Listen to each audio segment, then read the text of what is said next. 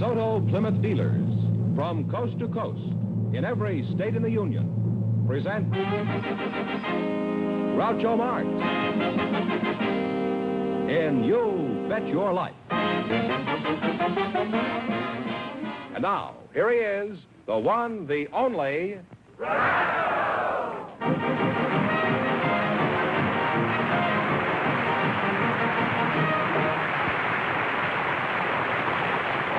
Well, here I'm again with $3,000 for one of our couples.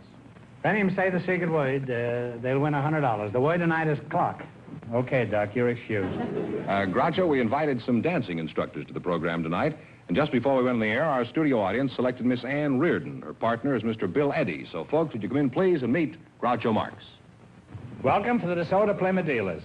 Say the secret word and divide $100. It's a common word, something you see every day. Ann Reardon and Bill Eddy. Ann, uh, you're a dancing instructor, it says here, huh? Yes. Where are you from, Annie?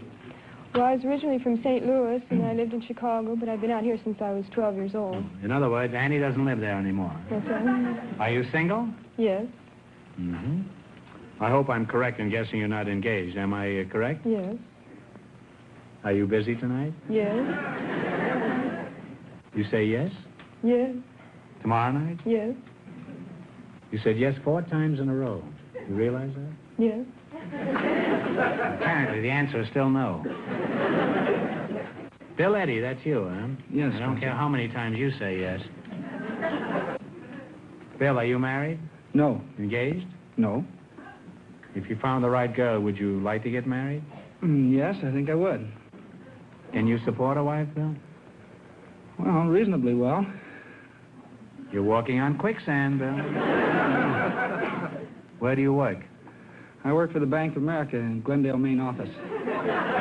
Oh, you work at the Bank of America, and congratulations. this is better than striking oil. Bill, what do you think of Ann? And be candid as you like. You know, you're among friends. Well, on such short acquaintanceship, I think she's a very lovely and charming girl. I haven't seen a banker pay that much interest since the boom of 87. What do you do at this bank, uh, Bill? I'm a lending officer. Oh. I accept applications for loans from individuals and companies, investigate their credit background, employment, verify their salary and length of employment, etc. Would you lend me any money? Well, are you gainfully employed? I won't know till the show comes out. What else would you want to know about me? Well, I'd have to know your salary, how long you'd been employed, your prospects for future employment, what you wanted the money for, etc. You know what I want the money for. I've often wondered about banks with all that money around. How do they know you fellas won't take home a few samples? Well, the uh, bank conducts a very thorough investigation and uh, ascertains our honesty before we're employed. That's not important. They better make sure you're honest after they hire you. Isn't there some little way an employee can make an honest mistake, like slipping a couple of thousand under his toupee? Well, Be honest, isn't there? well, a teller could go out to lunch and take a couple grand with him and not come back, but wouldn't be long before his absence was noticed, and he'd be caught eventually. Yes, but by this time he'd have had the lunch.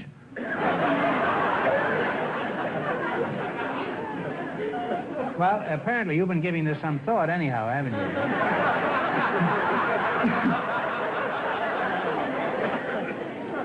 and you may have your honeymoon in Rio de Janeiro. Bill, by the way, I know the Bank of America is a very big bank. It happens I've got $32 there myself. Now, just between us, what assurance do I have that this money is safe? Well, uh, all deposits up to $10,000 are assured or insured by the federal government in Washington. That's my guarantee. huh? Yes. uh-huh. Have you heard that the federal government is about $280 billion in the hole? and that's after they collected Crosby's taxes.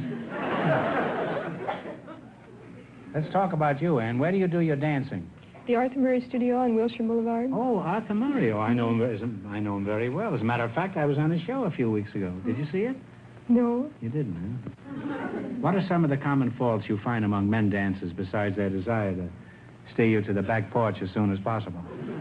Oh, among the many faults, they're the kind that dance, or what we call side saddle, you know, off to the side so they can peer around your shoulder.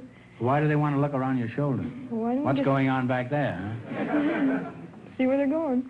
And, uh, oh, the kind that, oh, the talkers, you know, always. Talkers? They oh, tell you that their wife doesn't understand them? No, they count all the time. They count? Yeah, slow, slow, quick, quick, slow, slow, quick, quick. All the time in your ear. Dan, you think you could teach this guy anything? oh, I'm sure I could. Bill, uh, when do you think you could get together with her just to kind of talk things over, huh? Well, uh, we discussed this a little bit before the show, and we decided if, uh, if we won any money, why, we might get together after the show and talk it over a little bit. This was, uh, you knew this all the time when I was uh, talking to her? At the beginning, huh? Yes. uh-huh. Like a cat playing with a mouse, huh? Well, she gave the right answers.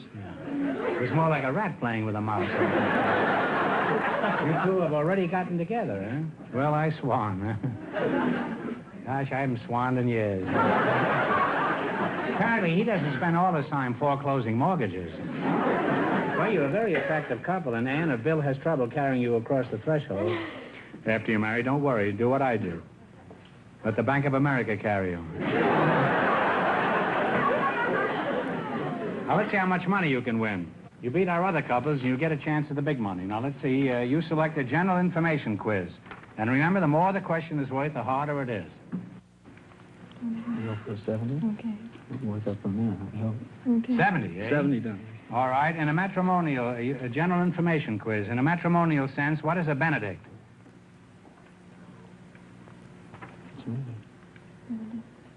Might as well guess it's a ring. The guy that gives a ring. Okay, go ahead. Is that the fellow that gives the ring to the groom? No, that's a married man, usually newly married. Well, that's a... Single, I'm sorry. Now, uh, what question do you want? What do we go for You now? still got lots of chances. Short 50. 80, 30, 100, anything. 60. 60. What kind of a business establishment would you associate with a mortar and pestle? Plaster, I think. Okay, go ahead. A plaster? Either a drugstore or a pharmacy. Or pharmacy. Ooh, it's that's the the thing he grinds it up in. That's right, yeah. Whoa, we're not doing what's it done. Now, well, So now what do you want? Let's go for the 50. Can't get too low. Okay. 50. 50. According to Mother Goose, who went to bed with one shoe on? This will have to be yours. See, a married man with children would know this.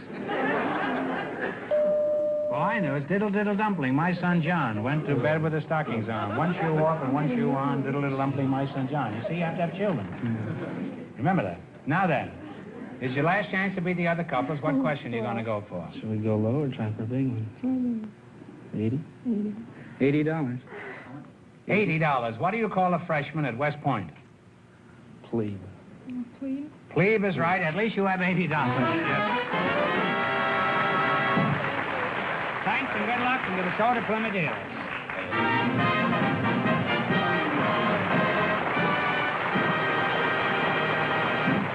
This is the California desert, a real desert of deep, loose sand, treacherous, soft shoulders, blistering heat. And this is a lovely 1954 DeSoto Automatic on the desert road. Now watch. We're driving this DeSoto Automatic out into the sand. In an ordinary car, it would be almost impossible to move or steer in this type of sand. Watch this, though. The world's newest and finest fully automatic transmission, PowerFlite transmission, lets the DeSoto Automatic accelerate smoothly, steadily, evenly with great power, even here. And steering is simple, even through heavy, treacherous sand, with DeSoto full-time power steering. The power steering that works for you all the time makes turning the steering wheel as easy as dialing a phone. There are hundreds of reasons why this lovely 1954 DeSoto deserves the name automatic. Reasons you should discover for yourself. Go to your DeSoto Plymouth dealer soon. See and drive the beautiful, stylish, distinctive 1954 DeSoto Automatic. It's available in two full series, the mighty 170 horsepower Firedome 8 and the brilliant Powermaster 6. Convince yourself that this year, DeSoto puts you ahead automatically. Well, now we have a young lady with an interesting job, Groucho. Her name is Shirley Lestelle, and her partner is Mr. Charles Sandoval. So, folks, would you come in, please, and meet Groucho Marx? Well, welcome, welcome for the DeSoto Plymouth dealers. There's one of them out front. Say the secret word and you'll divide a $100. It's a, it's a common word, something you see every day. Let's see, Charles uh, Sandoval and Shirley Lestelle, eh? You're Shirley, huh? Yes, sir.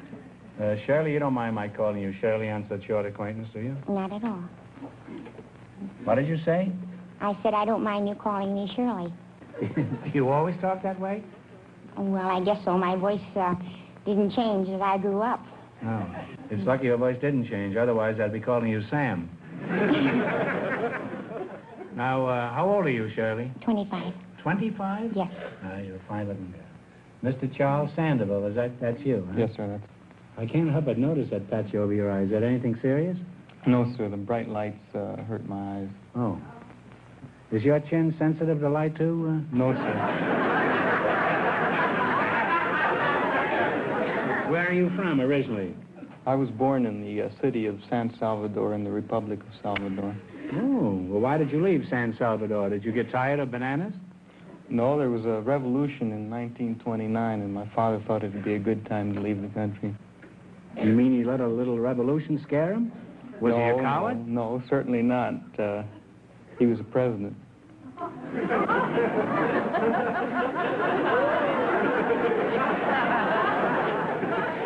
the job blew up in his face, then. Huh? I don't blame him for quitting. There's not much chance for advancement in a job like that. Shirley, let's get back to you. There's one question I haven't asked. Uh, you, uh, you are married, huh? Yes, sir. Do you have any outside interest, Shirley, or do you spend all your time keeping house? Oh, no, I work for a Papermate Pen Company. I have for the last two years. Oh, well, what do you do uh, as a paper maid?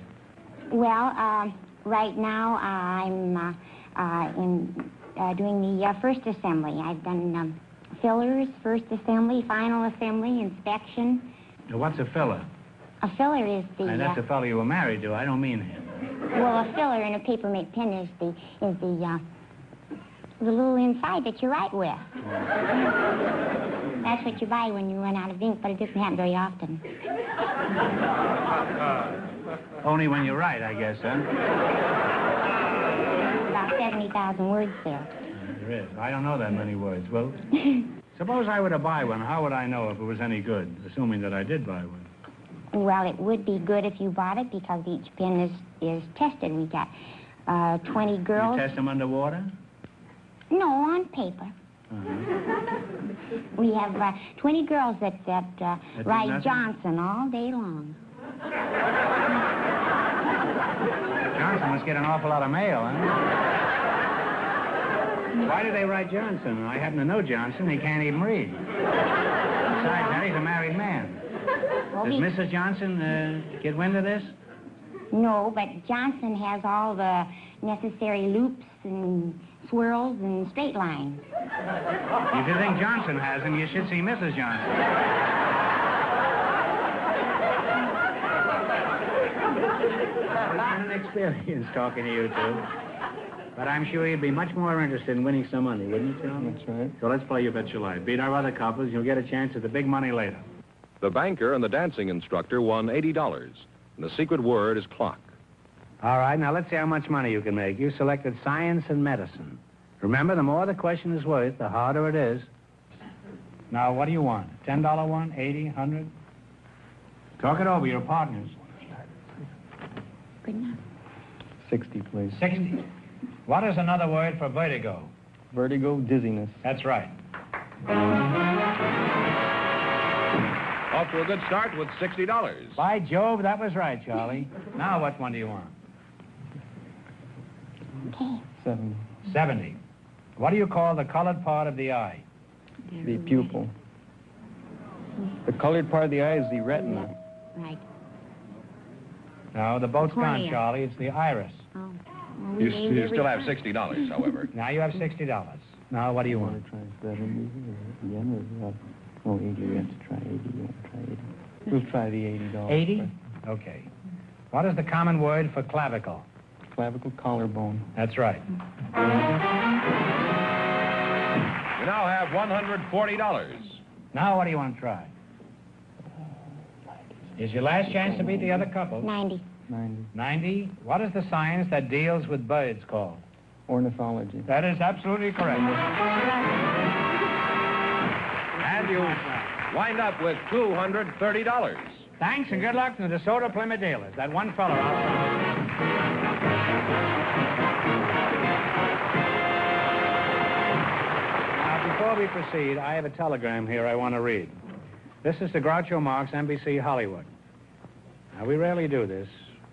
This is The Wire. 500 radio and TV editors participating in the annual Motion Picture Herald 500 radio and TV editors participating in the annual Motion Picture Herald and Fame magazine poll have voted George Fenneman the best announcer in television.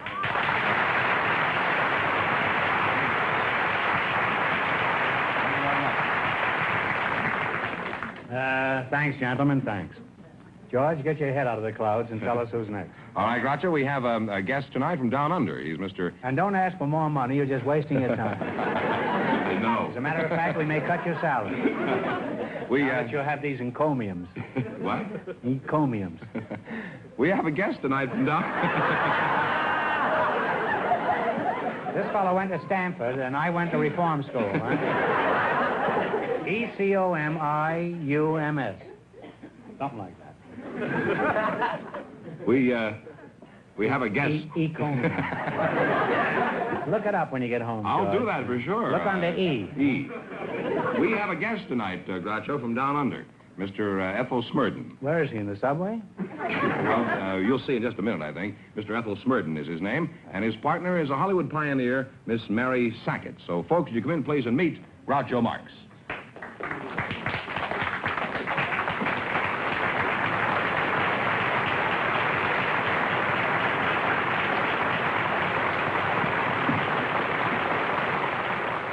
Now you got a box seat. Welcome for the DeSoto Plymouth dealer. Say the secret word and you'll divide a $100. It's a common word, something you see every day. Mr. Ethel Smyden. Oh, come now, you just made that up, didn't No, you? no, no. My name is Ethel. That's a Scotch Ethel? name. Hmm. Well, Why aren't you in a gas tank? Oh, well, Ethel, you see, is the male equivalent for Ethel, the girl's name. Oh. How about Smyden?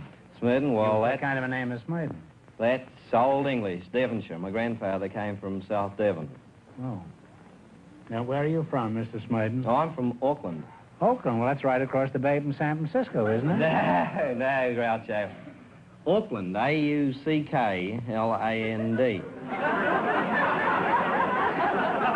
I don't care how you spell it. It's still across the bay from San Francisco. Why do you assume this uh, dialect if you're from Oakland? Well, actually, uh, have you ever heard of New Zealand? New Zealand? Have you ever ho- heard of Ecomium? No, frankly, I haven't. Well, that's right across the bay from Oakland. Same place. Now let's talk to you, uh, okay, Mrs. Sackett? Miss Sackett, you please. Miss Sackett? Thank oh, I'm, you. I'm terribly sorry. No, you may be sorry, but I'm not.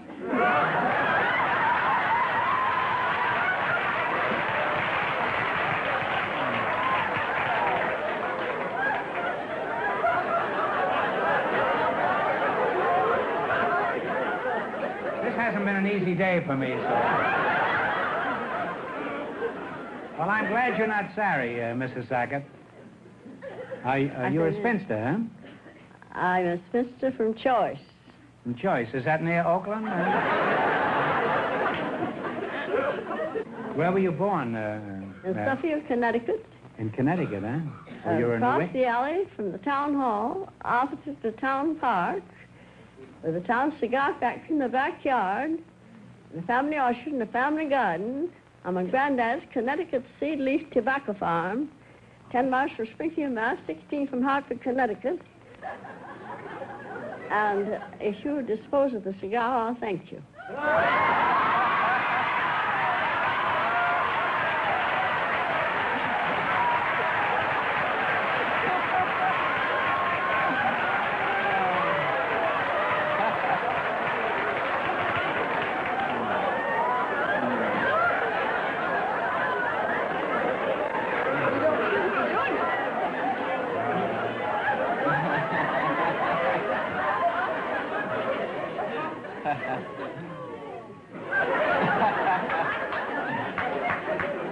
What? No, you need to get out another.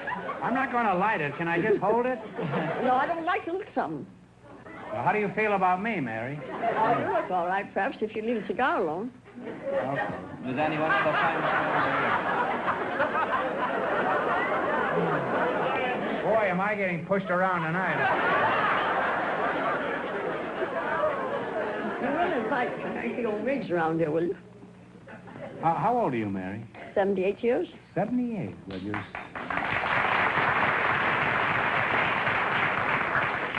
You're certainly spry and chipper. Mary, how do you account for the fact that you're so young looking at 78? What do you do to keep in condition? Oh, You don't smoke cigars, huh? I neither drink nor smoke. And uh, I take breathing exercises. Could you breathe a little for us, Mary?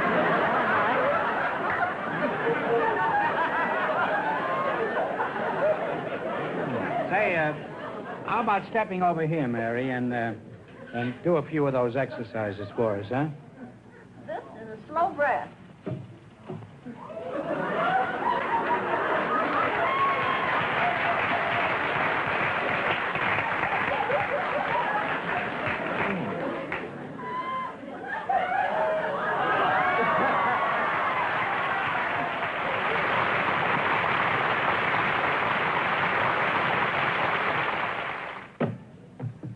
Well, that was quite a demonstration you put there, uh, Mary.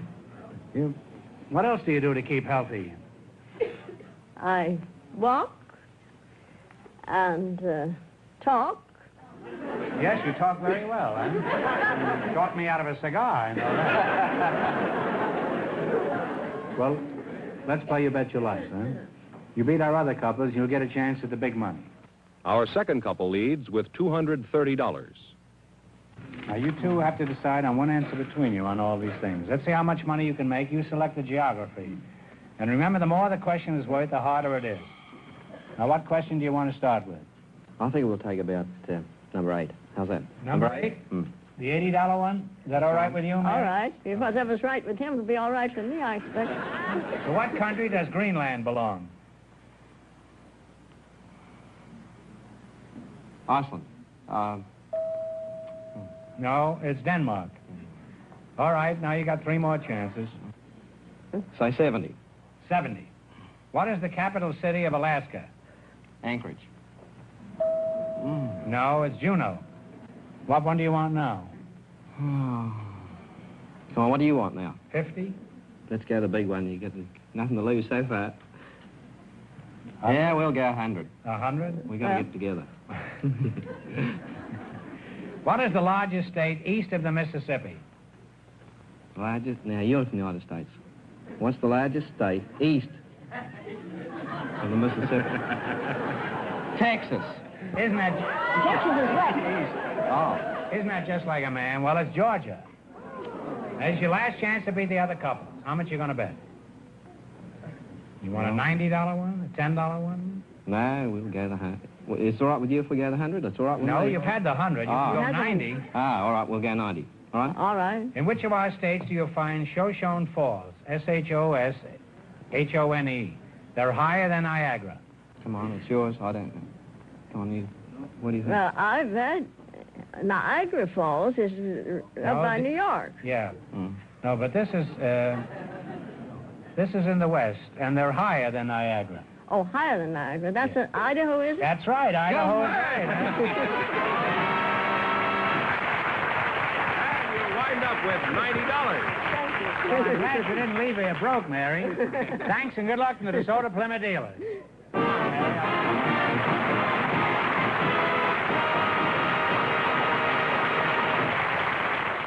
That means our second couple, Shirley Lestelle and her partner Charles Sandoval, with $230 in just one moment, get the chance at the DeSoto Plymouth $3,000 question.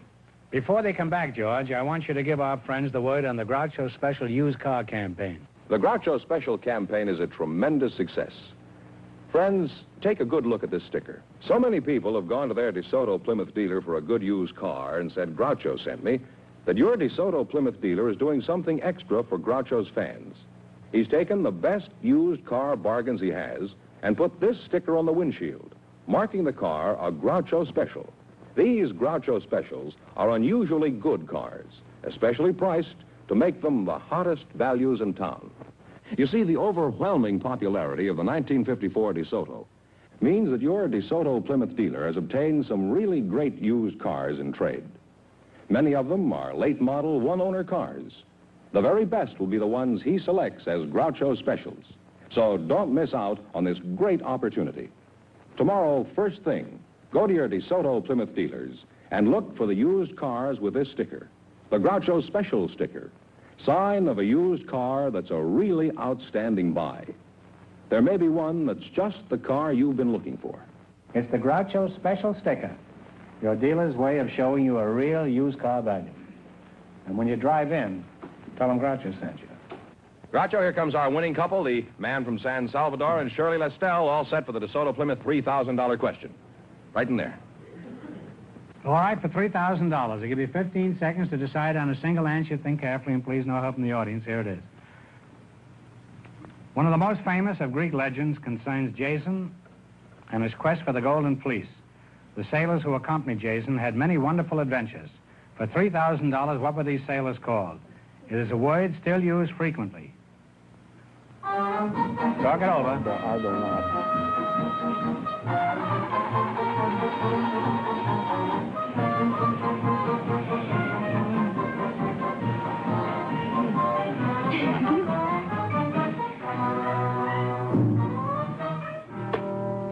What is the answer you two have decided upon?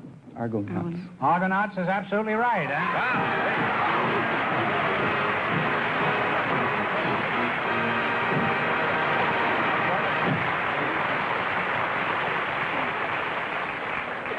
$3,000, and that was a tough question. How much they win the quiz, George? Uh, $230 in the quiz. Which gives them 32, uh, 32.30.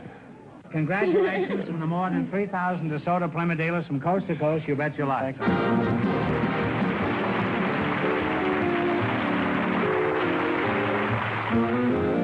Remember that the dealers who sell the dramatic and remarkable 1954 DeSoto Automatic with fully automatic PowerFlite transmission also sell the new 54 Plymouth, engineered and built better to be your best buy in the low-priced field.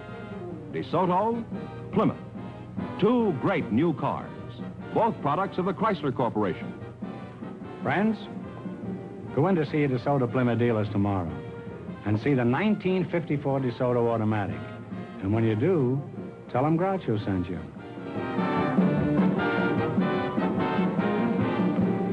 Be sure to tune in next week, same time, same station, for the Groucho Marx Show. You bet your life. Brought to you by the more than 3,000 DeSoto Plymouth dealers of America, who also bring you the outstanding new dramatic program, Medallion Theater, presented over another television network. And don't forget Groucho Marx and You Bet Your Life on radio every Wednesday night.